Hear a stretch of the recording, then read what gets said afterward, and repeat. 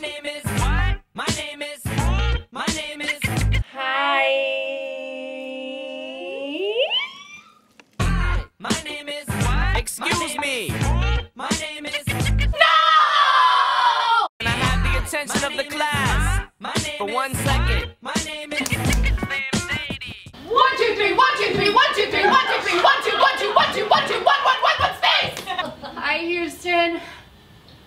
Great work up there today, gentlemen. You should be proud of yourself, both of you. Now, why don't you turn that space shuttle around and come on back home? Over.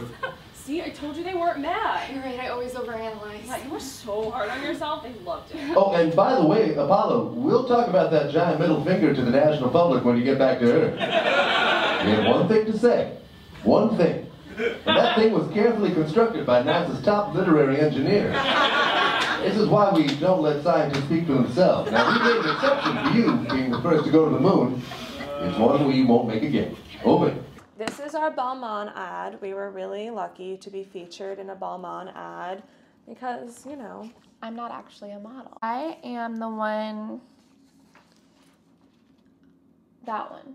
Welch's Concord Grape Juice Cleanse gives you a taste you can feel in your hollowing cheeks. Yummy, yummy. I just came out with a new thing. oh my god, I think I know what we're gonna talk about now. Oh my god, my lip kit. Kylie's lip journey has been a really interesting thing to just watch unfold, and it's just like yet again another example of her really coming to her own as a young woman. Kylie um, didn't finish high school. But I had a graduation.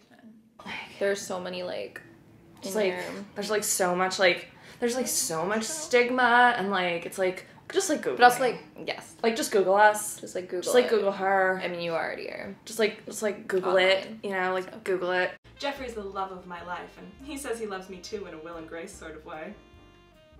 I don't know what that means.